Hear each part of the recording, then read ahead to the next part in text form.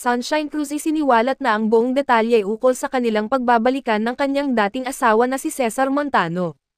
Matatandaan nitong 2014 nga nag-file ng annulment si Sunshine laban sa asawa nitong si Cesar Montano dahil umano sa third party. Subalit tumagal nga ang kanilang pagsasama noon ni Cesar ng 13 years.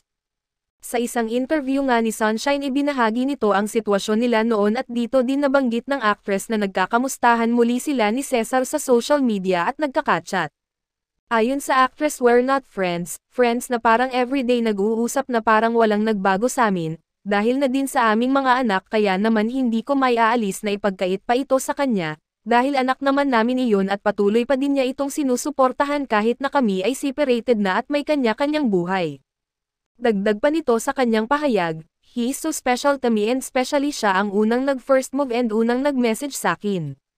Samantala sa pagkakataon na ito ay nabanggit din nito sa kanyang interview kung gumagawa nga ba ng paraan si Cesar Montano upang magkaayos at magkausap sila ni Sunshine. Ayon naman kay Sunshine ay ayos na naman daw sila ngayon ni Cesar and back to reality na ang kanilang relasyon, kumbaga nagliligawan stage ulit. Tila naging mahaba naman ang naging pahayag ni Sunshine na mapag-usapan ang pagpapatawad niya kay Cesar na ilang taon niyang minahal. Aniya it's work in progress, pinagdarasal ko na mapatawad ko siya because I know that if I don't forgive him, this very dark emotion will just give me up, and I will be able to move on with my kids na makapag-look forward ng maayos, yung walang galit o walang may pain hindi pa mawawala yun but for me to make at least to make a decision that will my family happy.